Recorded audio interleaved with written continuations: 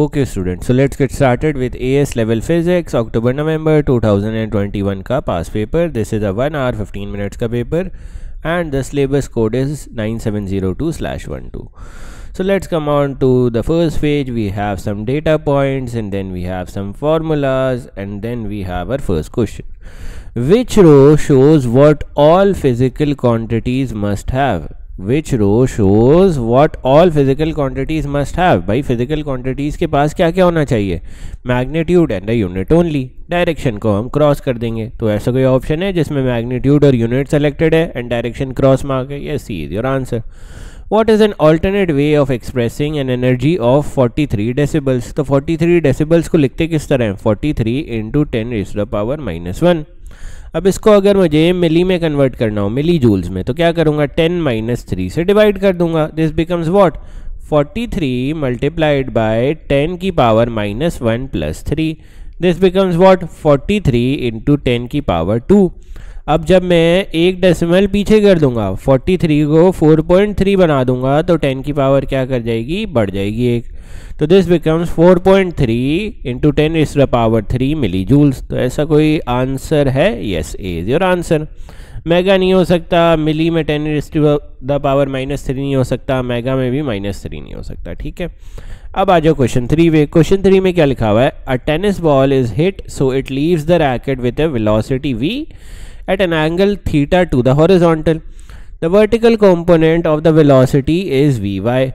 What is the magnitude of the horizontal velocity? ठीक है horizontal velocity का हमने magnitude निकालना है बेसिकली हमने ये निकालनी है ये ब्लू वाली चीज़ हमें कौन कौन सी चीज़ें गिवन है हमें ये गिवन है v ओहो वन सेकेंड हमें ये v गिवन है जो ये हाईलाइट कर रहा हूँ मैं और ये रेड वाली वेलोसिटी गिवन है that is what v y हमें ये ब्लू वाली वेलोसिटी निकालनी है दैट इज़ वी एक्स ये किसके इक्वल होगी?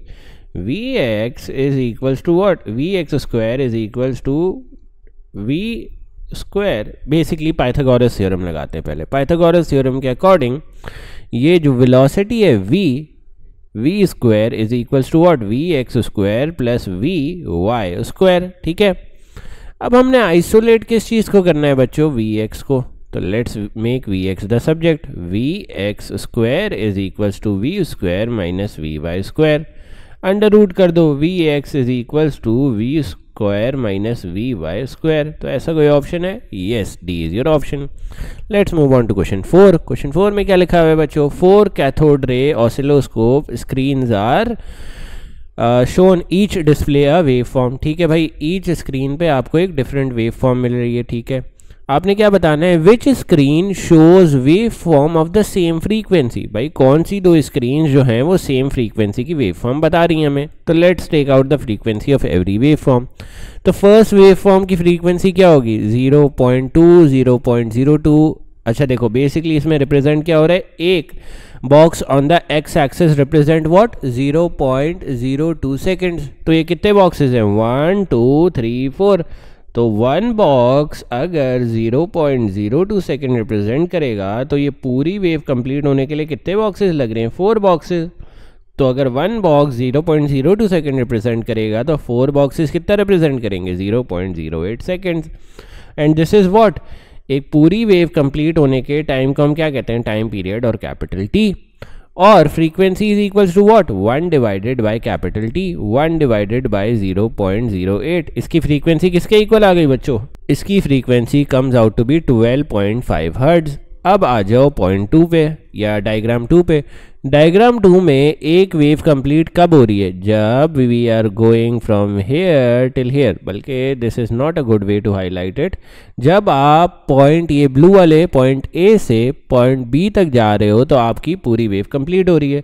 और इन दोनों बीच के बॉक्सेस कितने टू बॉक्सेस ठीक है? और एक बॉक्स का मतलब क्या है? One box represent zero point zero four seconds तो two boxes will represent how many second zero point zero eight seconds और ये क्या होगा? टाइम पीरियड तो यार अगर टाइम पीरियड ये है तो फ्रीक्वेंसी किस तरह निकालोगे? One divided by time period that is equal to one divided by zero point zero eight which is equal to twelve point five hertz तो यार वन की भी फ्रीक्वेंसी कितनी आ रही है? Twelve point five hertz two की भी फ्रीक्वेंसी क्या आ रही है? ट्वेल्व पॉइंट फाइव हर्ट्ज अब थ्री की निकाल लेते हैं।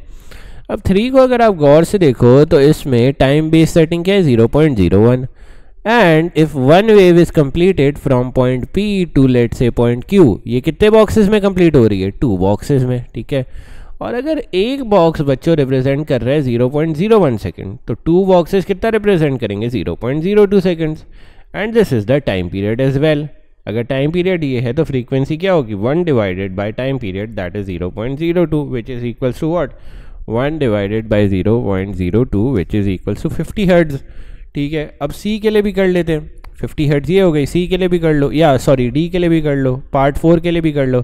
पार्ट फोर में आपकी टाइम बेस सेटिंग क्या है? Zero point zero eight seconds और पी से लेकर क्यू तक एक वेव कंप्लीट होने तक आपके कितने बॉक्सेस कवर हो रहे हैं? फोर तो अगर एक बॉक्स बच्चे 0.08 सेकेंड रिप्रेजेंट कर रहा है तो चार बॉक्सेस कितने सेकेंड रिप्रेजेंट करेंगे? 0.32 seconds this is your time period as well frequency किसके इक्वल हो जाएगी? One divided by zero point three two which is equals to what one divided by point three two which is equals to what three point one two five hertz three point one two five hertz तो अब मुझे बताओ, कौन सी frequencies are same 12.5 hertz and 12.5 hertz one और two की frequencies are same तो ऐसा कोई ऑप्शन है? Yes A is your option बाकी थ्री की फ्रीक्वेंसी क्या रही थी? फिफ्टी हर्ट्स फोर की फ्रीक्वेंसी क्या रही थी? Three point one two five hertz चलो, अब आ जाओ क्वेश्चन फाइव पे. क्वेश्चन फाइव में क्या लिखा है बच्चों? A student measures time for time T for one oscillation of a pendulum of length L okay here are the result okay हो गया. She uses this formula to calculate free fall अच्छा. Free fall जी निकालने के लिए formula use होता है। तो first of all तो क्या करो? फ़र्स्ट ऑफ़ ऑल तो क्या करो? इस फॉर्मूला में जी को सब्जेक्ट बना देते हैं। इसमें जी को सब्जेक्ट बनाते हैं। तो जी को सब्जेक्ट किस तरह बनाएँगे? Taking taking squares on both side squares on both sides जब आप स्क्वायर लोगे बच्चे दोनों साइड पे तो टी क्या बन जाएगा? टी स्क्वायर टू पाई क्या बन जाएगा? फोर पाई स्क्वायर और ये अंडर रूट क्या हो जाएगा? फिनिश हो जाएगा एल अपॉन जी आ जाएगा। अब हमने अपना जो है वो मकसद नहीं भूलना दैट इज़ जी को हमने सब्जेक्ट बनाना था। तो g will go to that side g is equals to four pi square L divided by what T square this becomes your what this becomes your answer या formula for जी ठीक है? ये याद रखना है हमने। अच्छा इसको हम एक काम करते हैं। इसको हम थोड़ा सा यहाँ पे इसको जो है वो मिनिमाइज कर देते हैं फॉर्मूला को बिगर टर्म में रहने देते हैं, ठीक है? चलो one second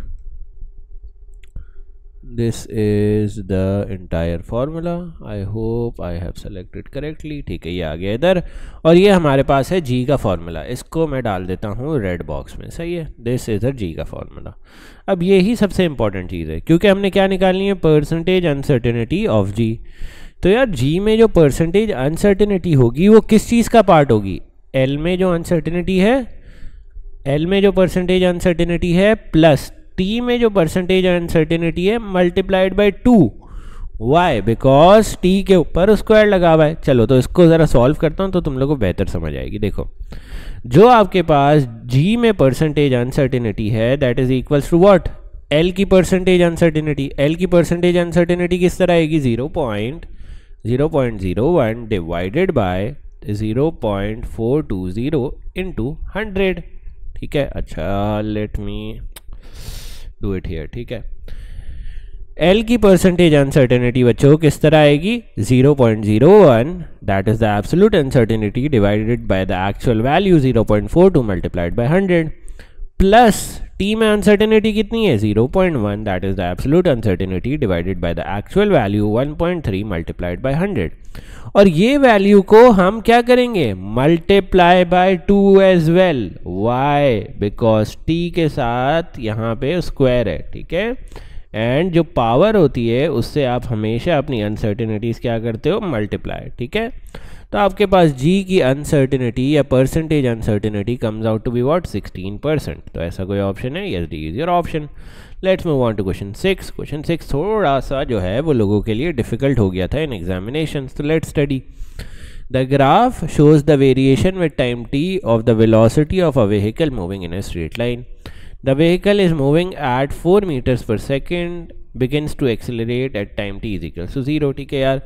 इनिशियली इसकी स्पीड क्या थी? Four meters per second and it begins to accelerate at time T is equal to zero calculate the acceleration at time T is equal to three second तो ज़्यादातर बच्चों ने क्या किया था? यहाँ पे एक पॉइंट मार्क किया था that is three comma six और ये वाला पॉइंट ले लिया था that is zero comma four but आप इस तरह नहीं कर सकते बच्चों. इस तरह आप नहीं ले सकते gradient why because this is a curve curve का ग्रेडियंट निकालने के लिए हमेशा फ़र्स्ट स्टेप क्या होता है? Draw draw a tangent draw a tangent at that point भाई, आपको कर्व का ग्रेडियंट निकालना है ना? तो always draw a tangent at the point हमारा पॉइंट कौन सा था? X is equal to three and Y is equal to six तो यहाँ पे हम एक टेंजेंट बनाते हैं, ठीक है? I have the liberty here to change the slope of tangent but exam में आपको परफेक्टली आई बॉल करके बनाना होगा, ठीक है? तो let me draw it this would be something like this इस तरह का yes this would be I guess हाँ this would be enough but नीचे से अभी भी ये परफेक्ट नहीं है so let me make it perfect थोड़ा सा यहाँ से हम जो है इसको ऊपर करते हैं and then we make it हाँ अब सही है। देखो this is the perfect tangent क्यों? क्योंकि ये सिर्फ़ एक पॉइंट को टच कर रहा है। अच्छा इसको भी थोड़ा सा ऊपर ले जाते हैं। आ, इसको हम यार एक तो ये one note one second one second this is here and this is here और इसको हमने थोड़ा सा यहाँ पे नीचे कर दिया, ठीक है? So this is the perfect perfect tangent क्योंकि एक ही पॉइंट को हिट कर रहा है एंड देन फिर कर्व से कर्व से बिल्कुल डाइवर्ट कर रहा है।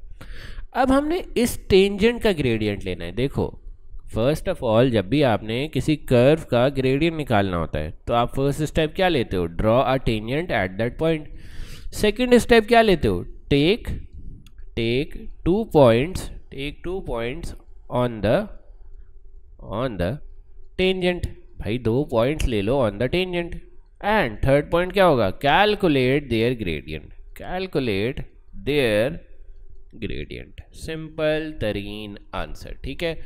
फ़र्स्ट ऑफ़ ऑल आप क्या करोगे? Draw a tangent at that point फिर क्या करोगे? Take two points on the tangent अब two points on the tangent first तो हमने ये वाला ले लिया. That is three comma six ठीक है? ये हमारा फ़र्स्ट पॉइंट है. सेकेंड पॉइंट क्या होगा बच्चों? अच्छा इसको मैं हाईलाइट ही कर देता हूँ. This is our first point second point क्या होगा? सेकेंड पॉइंट जो सबसे क्लियर है दैट इज़ दिस पॉइंट ये क्या होगा? एक्स में ये है सिक्स वाई में ये है टेन तो this will be my second point ये आपके पास आगे दो पॉइंट्स अब इन दोनों पॉइंट्स को लेके you calculate the gradient that is Y two ten minus Y one that is six Y two क्या है? सिक्स माइनस वाई वन क्या है?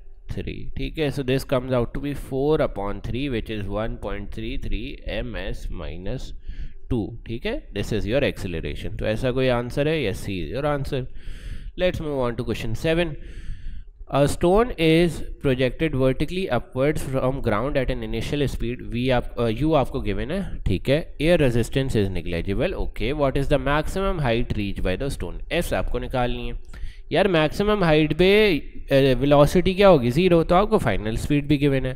बच्चों, अगर आप गौर करो तो आपको एक्सेलरेशन भी गिवन है। That is A is equal to minus nine point eight one M S minus two ठीक है? Because no air resistance is present तो अगर आपको u पता है दैट इज़ 15 आपको v पता है दैट इज़ ज़ीरो आपको a पता है that is minus nine point eight one तो कैन यू कैलकुलेट s? कोई ऐसा फॉर्मूला है? Yes V square is equals to U square plus two A S V की जगह क्या रखेंगे? Zero square is equals to fifteen की जगह यू की जगह क्या रखेंगे? Fifteen square plus two minus nine point eight one and S will come here ठीक है? And if you and if you rearrange the equation, minus 15 square is equals to 2 minus 9.81 s. तो यार two into minus nine point eight one को division में ले आओ minus fifteen square divided by minus two into nine point eight one minus minus cut हो जाता है and you get your S की value as eleven meter so ऐसा कोई आंसर है? Yes B is your answer what is question eight what is meant by the mass of an object यार mass of an object से क्या definition होती है?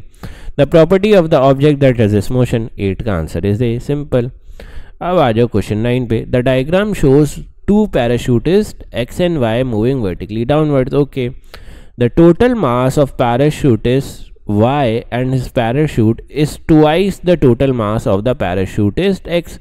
यार, अगर इसका मास 2m है तो इसका मास m है। बस ये याद रखो। At this moment the air resistance on parachutist y is twice the air resistance on parachutist x. तो यार इस पे जो रेजिस्टिव फोर्स लग रही है दैट इज़ टू आर और इस पे जो रेजिस्टिव फोर्स लग रही है? दैट इज़ ए आर ठीक है ठीक है ये हो गया इस twice neither parachute has reached terminal velocity, okay. Which statement describes the acceleration of y compared with the acceleration of x? तो यार, acceleration of y और acceleration of x निकलेगी किस तरह फ़र्स्ट ऑफ़ ऑल ये मुझे बताओ। एक्सेलरेशन निकालने के लिए हम क्या करते थे? Force is equals to M A in the case of X resultant force क्या होगी? M G minus A R is equals to M A ठीक है? एम डिवाइड कर दो बच्चे। M G minus A R divided by M is your acceleration for X ये बात याद रखो बस, ठीक है? लेट मी मिनिमाइज दिस ये हमने की है सिर्फ़ एक्स की वर्किंग ठीक है? और ये हमारे पास आई है ब्लैक बॉक्स में क्या आई है? एक्सेलरेशन फॉर एक्स ठीक है? ये याद रखो।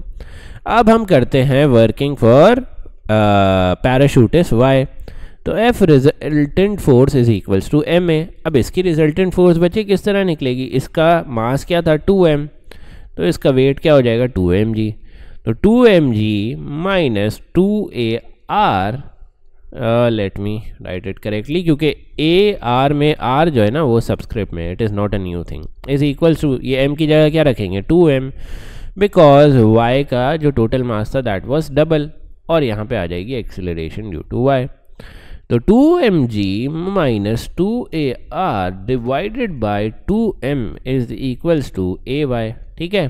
अब डिनोमिनेटर में और न्यूमिनेटर में टू कॉमन ले लो। Two M G minus A R divided by two M two से टू कैंसिल हो गया।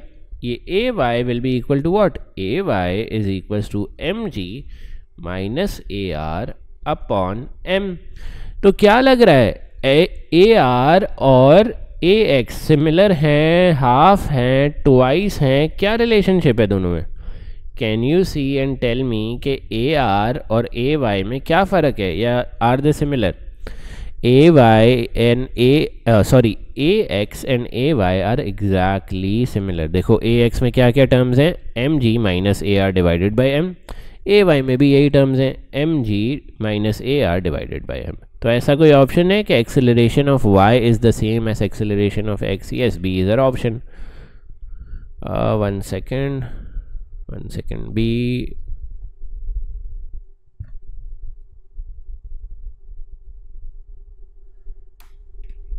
yes so here we have it B is uh option here ठीक है acceleration of Y is same as acceleration of X हमने calculation करके भी देख लिया. Let's move on to question ten the table shows four different collisions between two blocks each of mass 0.5 kg which collision is perfectly elastic भाई perfectly elastic में क्या होता था speed of approach is equals to speed of separation ठीक है अब मुझे first collision के लिए बताओ स्पीड ऑफ़ अप्रोच क्या होगी फोर स्पीड ऑफ़ सेपरेशन क्या होगी ज़ीरो बिकॉज़ दोनों कंबाइन हो गए तो इसमें speed of approach is not equal to speed of separation अब पार्ट बी पे आ जाओ। पार्ट बी में भी स्पीड ऑफ़ अप्रोच क्या है? फोर बिकॉज़ दोनों स्पीड्स जब ऑपोजिट डायरेक्शन में होती हैं तो दोनों स्पीड्स प्लस हो जाती हैं for the speed of approach और स्पीड ऑफ़ सेपरेशन क्या है? Zero because both have combined part C पे आ जाओ। पार्ट सी में two plus one speed of approach क्या हो जाएगी? Three and speed of separation क्या हो जाएगी? Since they are in opposite direction speed of separation क्या हो जाएगी? Two plus three that is equal to five और five is not equal to three अब पार्ट डी में आ जाओ। बेसिकली होगा पार्ट डी ही सही, क्योंकि A B and C have already cancelled out but हम चेक भी कर लेते हैं। अगर सेम डायरेक्शंस में वेलोसिटीज़ होती हैं तो क्या होता है?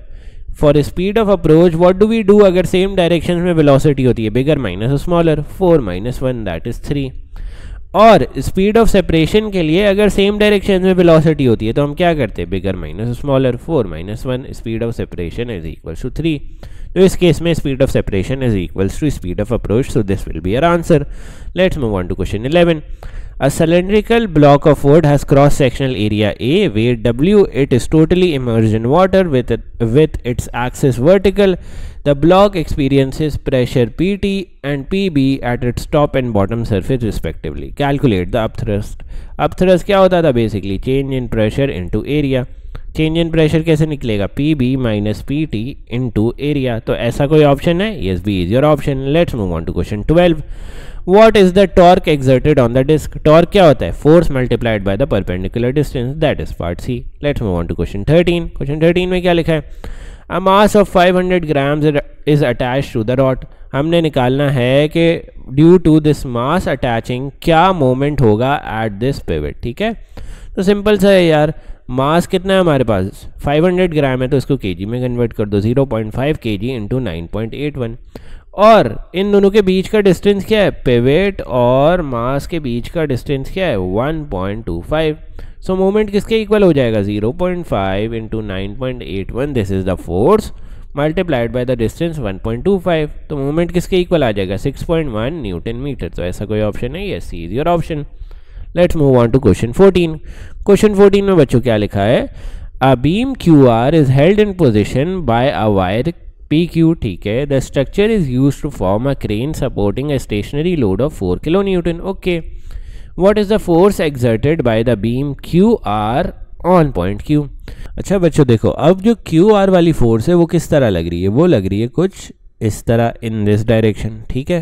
In this direction at an angle of at an angle of 30 degree सही है?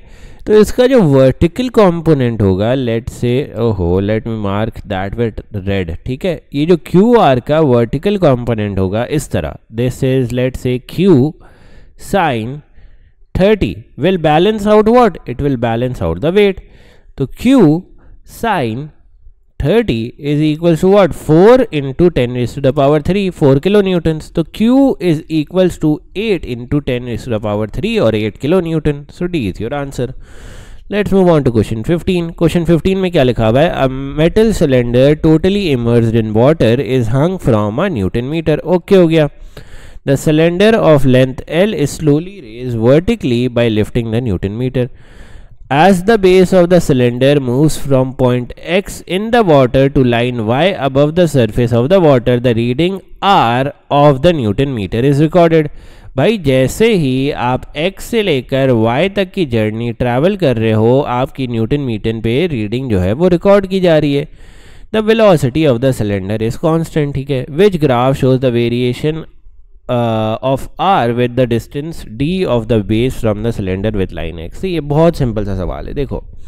बेसिकली सवाल ये हो रहा है कि यार, ये जो न्यूटन मीटन पे रीडिंग है, वो किस तरह वेरी करेगी जब आप ये ब्लॉक को लिफ्ट कर रहे हो from point X to point Y X आपकी इनिशियल पोजिशन है वाई आपकी फाइनल पोजिशन है, ठीक है? तो फ़र्स्ट ऑफ़ ऑल तो ये समझो कि जब तक ये पानी से बाहर नहीं आता, इस पे एक पूरी पूरी अपथरस की फोर्स लग रही होगी। अपथरस की force is equal to what rho G and volume of the object immerse in water ये डिपेंड करती ही नहीं है। अपथरस डेप्थ पे डिपेंड करती ही नहीं है। तो अगर आपका सिलेंडर कहीं यहाँ पे भी पड़ा हुआ होगा ना तो भी इस पर सेम अपथरस लगेगी। तो जब तक ये सिलेंडर इस एरिया में इन द वाटर इस पे अपथरस क्या लग रही होगी? सेम क्योंकि upthrust depend on what volume of the object not on the depth तो हम देखते हैं फ़र्स्ट ऑफ़ ऑल कोई ऐसे ऑप्शन हैं जिसमें पहले हिस्से के लिए एक स्ट्रेट हॉरिजॉन्टल लाइन हो। क्योंकि हमें पता है कि अपथरस जो है वो कांस्टेंट रहेगा until and unless it is in the water surface तो ए भी नहीं है बी भी नहीं है, क्योंकि इनकी इनिशियल लाइन देखो क्या हो रही है, बढ़ रही है। इनिशियल लाइन कभी नहीं बढ़ सकती। क्यों? क्योंकि आप थ्रस्ट अगर ऑब्जेक्ट इधर भी होगा ना, अगर ऑब्जेक्ट थोड़ा सा ऊपर भी आ जाता है और इधर आ जाता है तो भी अब thrust will remain constant why क्योंकि अब थ्रस्ट डिपेंड करता है वॉल्यूम ऑफ़ द ऑब्जेक्ट पे नॉट ऑन द डेप्थ ठीक है? तो अब थ्रस्ट कॉन्स्टेंट रहेगा। तो हाँ सी और D can be our option अब आ जाओ, इनमें से करेक्ट ऑप्शन कौन सा होगा? अब जैसे जैसे आप ये सिलेंडर को बाहर निकालते जाओगे तो क्या होगा? जैसे जैसे आप सिलेंडर को बाहर निकालते जाओगे तो volume immerse in water decrease करता रहेगा। Volume immerse in water decrease करता रहेगा तो आप थ्रस्ट भी डिक्रीज करता रहेगा, ठीक है? और अब थ्रस्ट डिक्रीज करेगा मतलब अपवर्ड फोर्स डिक्रीज करेगी तो क्या होगा? न्यूटन मीटर पे reading will increase why because newton meter बच्चे मेजर कर रहा है डाउनवर्ड फोर्सेस की रीडिंग और डाउनवर्ड फोर्स कौन सी है इसके लिए? इट इज़ इट्स वेट ठीक है? देखो बेसिकली अगर मैं इसकी फ्री बॉडी डायग्राम सही तरह तुमको बना के दिखाऊँ तो हो ये रहा है, हो ये रहा है कि अब थ्रस लग रही है अप साइड पे, ठीक है, और वेट लग रही है डाउनवर्ड साइड पे। अप थ्रस लगने की वजह से अप थ्रस लगने की वजह से W माइनस यू होके रिजल्टेंट फोर्स जो है वो कम हो रही थी, ठीक है? तो न्यूटन मीटर पे रीडिंग जो है वो कम आ रही थी। बट जब आप अप थ्रस्ट ही डिक्रीज कर दोगे अप थ्रस्ट ही डिक्रीज कर दोगे तो रिजल्टेंट फोर्स क्या होगी? बढ़ जाएगी ना? क्योंकि वेट से फिर कम अपवर्ड फोर्स माइनस होगी तो रिजल्टेंट फोर्स बढ़ जाएगी। न्यूटन मीटर पे रीडिंग बढ़ जाएगी and it will increase increase linearly तो ऐसा कोई ऑप्शन है? सी इज़ योर ऑप्शन चलो let's move on to question 16 ठीक है? अब यहाँ पे क्या लिखा हुआ है? Let's see let me zoom out a bit क्या लिखा हुआ है? A ball is thrown from the ground and reach is the top of the part ठीक है which statement is not correct as it rise kinetic energy is converted into gravitational potential energy ये correct है. At it mid point of the part the gravitational potential energy is equal to the initial kinetic energy no B is in correct ठीक है.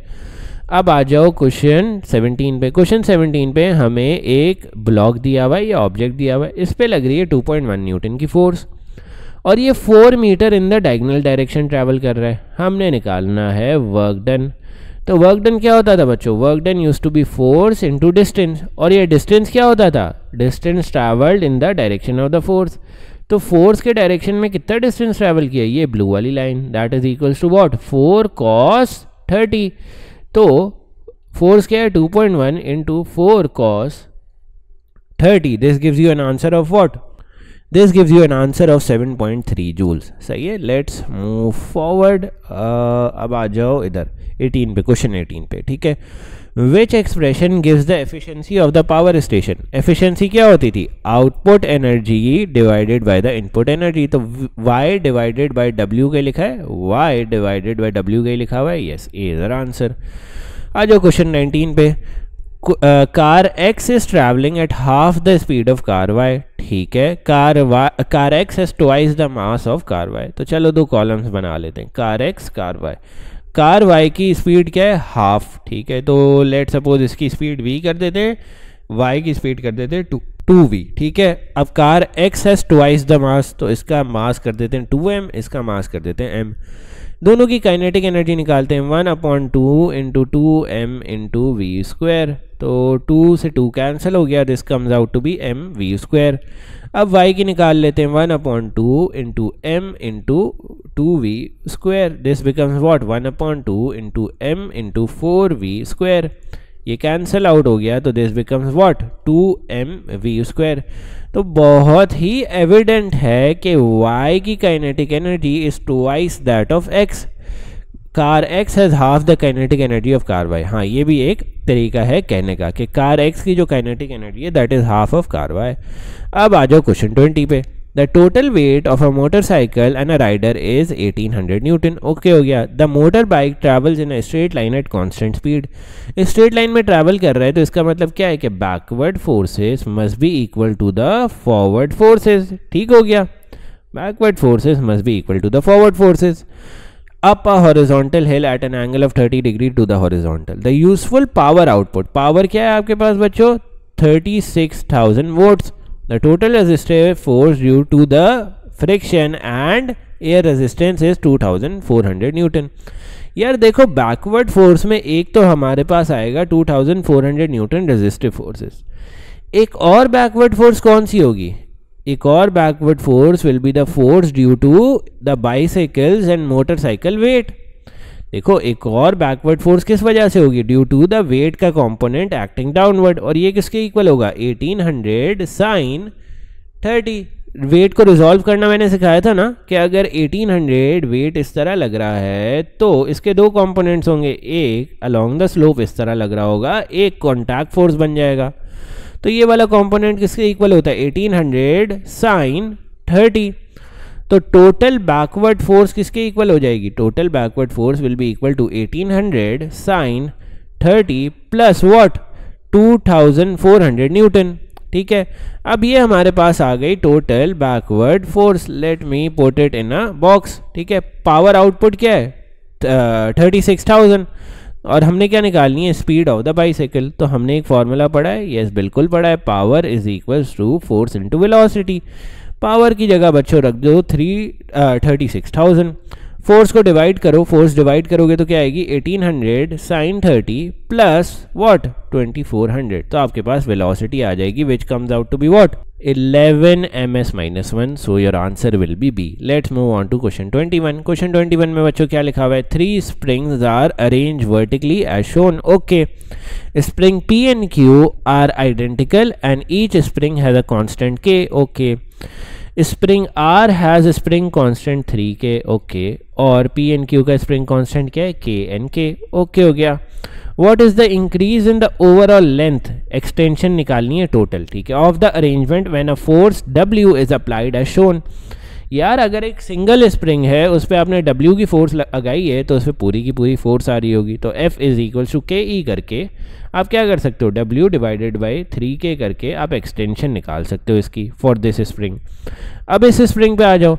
यहाँ पे तो parallel में लगे हुए हैं तो क्या होगा? Force will get divided W upon two and W upon two extension किसके इक्वल हो जाएगी? Force is equals to K E W upon two divide is equals to K E K, यहाँ पे आके डिवाइड कर दो W divided by two K is equals to E तो ये हो गई हमारी एक्सटेंशन वन ये हो गई एक्सटेंशन टू टोटल एक्सटेंशन किसके इक्वल होगी? W upon three K plus W upon two K that is equals to what five W upon six K तो ऐसा कोई ऑप्शन है? Yes A is your option let's move on to question twenty two question twenty two में बच्चों क्या लिखा हुआ है? What is represented by the shaded region shaded region क्या है? स्ट्रेस स्ट्रेन ग्राफ का एरिया है। तो याद है स्ट्रेस स्ट्रेन ग्राफ का एरिया क्या होता था? It use to be strain energy divided by the volume तो ऐसा कोई ऑप्शन है? Strain energy divided by the cross section no strain energy सिर्फ़ तो नहीं होता था। Strain energy divided by original length no strain energy divided by the original volume yes D is our answer question 23 पे आ जाओ। Which row is correct description of wave क्या है? Oscillations are parallel to the direction of energy travel no. Gamma rays transverse uh, होती थी ना और यहाँ पे longitudinal की definition लिखी हुई है। Same with ultraviolet waves. Ultraviolet waves भी लॉन्गिट्यूडनल होती थी बट डेफिनेशन किसकी लिखी हुई है? लॉन्गिट्यूडनल की। सी पे आ जाओ। Oscillation are perpendicular to the direction of energy transfer यहाँ पे उल्टा हो गया है। साउंड वेव्स क्या होती है? लॉन्गिट्यूडनल डिस्क्रिप्शन किसकी लिखी हुई है? ट्रांसफर्स की। तो this wouldn't be an answer as well D पे आ जाओ। डी में लिखा हुआ है एक्स रेज एक्स रेज क्या होती है? ट्रांसफर्स और डेफिनेशन किसकी लिखी हुई है? ट्रांसफर्स की। So D will be our answer अब आ जाओ 24 पे। 24 में हमें क्या गिवन है? ये जो पॉइंट एम है ना these are sound intensity at its minimum तो मतलब ये नोड्स हैं, ठीक है? हमने निकालनी है वेवलेंथ तो यार नोड से लेकर नोड तक का डिस्टेंस क्या होता है? One upon two lambda then again one upon two lambda then again one upon two lambda then again one upon two lambda then again one upon two lambda तो ये कितने वन अपॉइंट टू लैंडा हो गए? पाँच. तो five into one upon two lambda is equals to what five upon two lambda और five upon two lambda is equal to what seventy centimetre lambda किसके equal हो जाएगी भाई? One forty divided by five lambda equals to what lambda equals to 28 centimeter so d will be our answer let's move on to question 25 अच्छा question 25 करने से पहले let me minimize this a bit ठीक है इसको ऊपर कर देते हैं क्वेश्चन 25 में क्या लिखा है बच्चों a train travels in a straight line at a constant speed of thirty metres per second ये आपके पास आ गई वेलोसिटी ऑफ़ द ट्रेन ठीक है the train horn continuously emits a sound of frequency 2400 hertz ये आपके पास क्या आ गई? एफ़ एस ठीक है? A stationary observer stand next to the train track यार एक स्टेशनरी ऑब्जर्वर है, जिसके पास ज़िंदगी में कोई काम नहीं है। वो ट्रेन को जाता हुआ देख रहा है। तो इनिशियली ट्रेन यहाँ पे होगी, इसके करीब आ रही होगी, फिर जो है ट्रेन इससे दूर जा रही होगी, ठीक है? अच्छा the train approaches the observer passes him and then moves away ठीक है, यही हो रहा है। The speed of the sound ये हमारे पास क्या आ गई? V S speed of sound ठीक है। What is the difference in the frequencies of the sound heard by the stationary observer यार देखो, जब ट्रेन इसके करीब आ रही होगी तो इसकी एफ़ नॉट क्या कर जाएगी? इंक्रीज जब ट्रेन इससे दूर जा रही होगी तो इसकी एफ़ नॉट क्या कर जाएगी? डिक्रीज तो इन दोनों फ्रीक्वेंसीज का डिफरेंस निकाल के बताना है।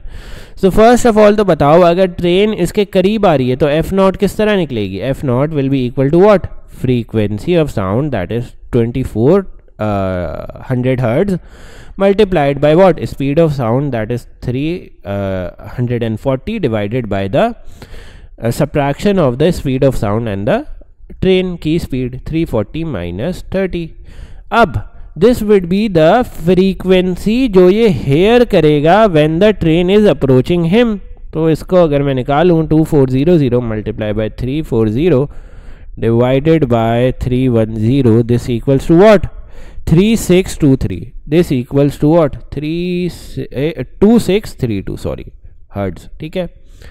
अब ये वो फ्रीक्वेंसी है जो ये हेयर करेगा when the train is approaching him ठीक है? ये frequency observe when the train is approaching अब फ्रीक्वेंसी ऑब्ज़र्व निकालते हैं when the train is leaving him ठीक है? जब ट्रेन ट्रेन इसे लीव कर रही होगी, तब ये कौन सी फ्रीक्वेंसी एक्सपीरियंस uh, करेगा?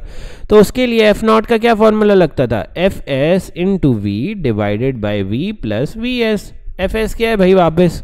2400 multiplied by the velocity of sound क्या है three thousand three hundred and forty divided by three hundred and forty plus thirty तो इसका answer comes out to be let me calculated इसका answer is if I divide this answer by three seventy इसका answer comes out to be two two zero five two two zero five hertz इन दोनों के बीच का difference क्या होगा? अब देखो, हमने निकालना है maximum difference maximum difference between the velocities he hair maximum difference किस तरह निकलेगा? जब आप इस वेलोसिटी को माइनस कर दोगे फ्रॉम दिस तो two six three two minus the answer your answer comes out to be two four two six hertz जब आप अप्रोच की वेलोसिटी माइनस कर दोगे फ्रॉम व्हाट लीविंग की फ्रीक्वेंसी से बेसिकली जब आप अप्रोच की फ्रीक्वेंसी माइनस कर दोगे लीविंग की फ्रीक्वेंसी से तो आपका answer will come out to be 430 hertz या एग्जैक्ट अगर देखना है तो 426 हर्ट्ज आएगा। उसको राउंड ऑफ़ करके 430 हर्ट्ज बन जाएगा। चलो। Let's move on to question 26 electromagnetic waves of frequency 30 tera hertz are in a vacuum in which region of the electromagnetic spectrum are these wave ये कौन से पार्ट में होंगी? इन द इंफ्रारेड पार्ट चलो let's move on to question 27 question 27 में क्या given है? हमें स्पीड ऑफ़ वेव गिवन है दैट इज़ वी हमें ये गिवन है कि नोड से नोड फिर नोड से नोड फिर नोड से node half lambda half lambda half lambda तीन दफ़ा हाफ़ लैंडा करेंगे तो हमारा डिस्टेंस कितना आ रहा है? One point three five meters तो एक लैंडा किसके इक्वल होगा? Lambda will be equal to one point three five multiplied by two divided by three lambda comes out to be one point three five multiplied by two divided by divided by three तो lambda comes out to be zero point nine यार zero point nine आपके पास lambda आ गया, आपके पास velocity भी है। Can you apply V is equals to F lambda yes week है 450 डिवाइडेड पॉइंट नाइन आपकी frequency comes out to be five hundred hertz तो ऐसा कोई ऑप्शन है? ये C is your option let's move on to question 28 question 28 बहुत ही आसान था. A beam of laser light is directed towards a narrow slit after emerging the other side of the slit the diffracted light then falls on a screen what is the pattern observe of the light seen on the screen obviously B अब आ जाओ question 29 पे. Two waves each with a constant amplitude interfere and produce an interference pattern. Okay. The patterns have minima at fixed point where the displacement is zero. Displacement zero कब होगी जब दोनों waves की amplitude same होगी which statement describes the two waves they must be coherent and must have the same amplitude सही है 29 का answer would be A let's move on to question 30 question 30 में क्या लिखा है बच्चों light of wavelength wavelength given है हमें ठीक है is incident normally on a diffraction grating. Okay, angle between the two maximas is क्या 80 डिग्री तो हम थीटा क्या लेंगे? 40 ठीक है?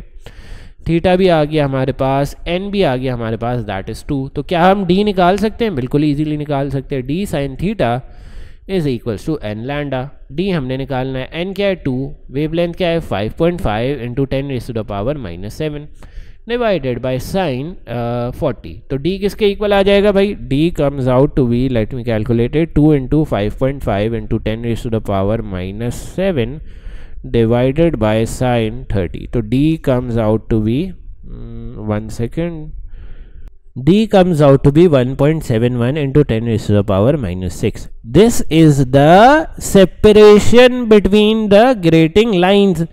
भाई, दो ग्रेटिंग लाइंस के बीच में सेपरेशन क्या होगी वो हमें ये बता रहा है डी हमें क्या बताना है? The number of lines per meter तो number of lines per meter किस तरह निकालते थे? वन अपॉन डी तो हमारे पास अगर डी आ गया है तो can I do one upon D yes one divided by D this comes out to be five point eight into ten is the power five तो ऐसा कोई ऑप्शन है yes A is your option let's move on to question thirty one question thirty one में हमने बताना है which is the correct electric field lines electric field lines में क्या होता था? पॉजिटिव से नेगेटिव जा रहे होते थे और नेगेटिव के अंदर एरोज आ रहे होते थे पॉजिटिव से बाहर जा रहे होते थे. So A is the correct option let's move on to question thirty two a proton enters the electric field from here यहाँ से इलेक्ट्रिक फ़ील्ड एंटर करता है और प्रोटॉन का चार्ज क्या है? पॉजिटिव यहाँ पे इसके बिल्कुल सामने क्या पड़ी हुई है? पॉजिटिव टेन वोल्ट्स तो यार पॉजिटिव और पॉजिटिव चार्जेस क्या होते हैं? रिपेल रिपेल होंगे तो प्रोटॉन की स्पीड को क्या होगा? इट विल डिक्रीज तो C is your answer let's move on to question 33 what is the description of coulomb the electric charge of one electron no the electric charge transferred by a current of one ampere in one second yes 33 का answer is B अब आ जाओ question 34 पे. A battery of electromotive force 10 volts and internal resistance 5 ohm is connected to a 5 ohm resistance. Okay. Which change occurs when the 5 ohm load resistor मतलब ये वाला resistor is changed with a 50 ohm भाई इसकी जगह हमने 50 ohm resistor लगा दिया बताओ क्या होगा The current in the circuit increases? No. The potential difference across the load increases? Yes. So B is our answer. Let's move on to question 35. The graph shows how the potential difference versus current varies in three components. ठीक है यार हमें तीन graphs given है ये current versus voltage के हमें basically तीन ग्राफ्स गिवन है for current versus voltage graph X Y and Z और हमें बताया हुआ है कि इनमें से कोई एक है for a metal wire at constant temperature दूसरा है for a semiconductor diode and तीसरा कोई है फॉर अ फिलामेंट लैम्प तो फ़र्स्ट ऑफ़ ऑल तो मुझे बताओ मेटल वायर के लिए कौन सा होगा? जिसका आई वर्सेस वी का graph would be a straight line this is for a metal wire diode के लिए कौन सा होगा? वन दैट इज़ एक्सपोनेंशियल तो ये होगा डायोड के लिए। और रिमेनिंग किसके लिए हो जाएगा? फिलेमेंट लैम्प के लिए। तो दिस इज़ योर आंसर तो देखते हैं कि ऐसा आंसर कहाँ लिखा हुआ है। मेटल वायर के लिए हमने करना है वाई तो वाई दो जगह है। ठीक है so A and D will get cancelled out semiconductor diode के लिए हमारा है एक्स एक्स ए की जगह है तो B is answer let's move on to question thirty six question thirty six में क्या लिखा हुआ है? Define potential difference and EMF EMF और पोटेंशियल डिफरेंस की करेक्ट डेफिनेशन बताओ। EMF is the energy transferred from chemical to electrical energy no EMF potential difference is the energy नहीं. EMF is the energy transferred देखो A और B में क्या missing था? Transferred per unit charge ये per unit charge बहुत important है। सही है? E M F is the energy transferred per unit charge from chemical energy to electrical energy in the cell E M F हमेशा energy transfer करता है in the cell potential difference क्या करता है? Potential difference transfer energy per unit charge in the resistor ठीक है? ये याद रखो, ये डिफरेंस होता है. अब आ जाओ क्वेश्चन 37 पे। क्वेश्चन 37 में what do we have the potential difference across each resistor is 2 volts okay the current in the circuit is 0.4 ampere and the current through one of the resistors यहाँ पे it is 0.3 ampere तो यार, अगर parallel में एक branch में 0.3 ampere चलेगी total current 0.4 है तो इस ब्रांच में क्या होगा? 0.1 एम्पेयर सही है। And what is the current through the other resistor हमने बता दिया 0.1 and what is the total electromotive force total electromotive force क्या होगी? 2 volts plus 2 volts that is equals to 4 volts तो 0.1 और 4 का option is A let's move on to question 38 ठीक है. A battery of electromotive force 9 volts and internal resistance 1 ohm is connected to a fix resistor of 5 ohm and a potentiometer of maximum resistance 3 ohm The sliding contact of the potentiometer is changed over its full range of movement. what is the maximum value of potential difference that is measured by the voltmeter यार maximum value of potential uh, difference क्या होगी जब ये बिल्कुल and पे लगा होगा या इसकी रेजिस्टेंस जो है वो थ्री ओम होगी so let's calculate that first of all before calculating that हम करंट निकाल लेते हैं करंट किस तरह आएगा V is equal to I R करके वी क्या है? नाइन वोल्ट्स टोटल रेजिस्टेंस कितनी है? One plus five plus three that is nine as well तो करंट किसके इक्वल आ गया? वन एम्पेयर अब मैक्सिमम वोल्टेज जो ये वोल्ट मीटर मेजर कर सकता है, वो किस पे होगा? जब आर जो है, वो थ्री ओम होगा तो V is equal to I R कर देते हैं। आई की जगह हमने वन प्लेस कर दिया आर की जगह थ्री प्लेस कर दिया तो voltage comes out to be three volts तो ऐसा answer is A an unstable nucleus decays by emitting a beta plus particle. which statement is correct? An anti-neutrino is also emitted wrong because वो beta minus में होता है। A neutron changes into a proton नहीं, ये भी beta minus में होता है। मास एनर्जी इज़ कंजर्व ये सही है। Which statement is not correct and anti neutrino is a fundamental particle ये करेक्ट है। An electron is made of a quark an an anti quark गलत है ये। बी इज़ योर आंसर ठीक है? So this marks the end of October November 2021 का paper one if you have any question you can ask me in the comments below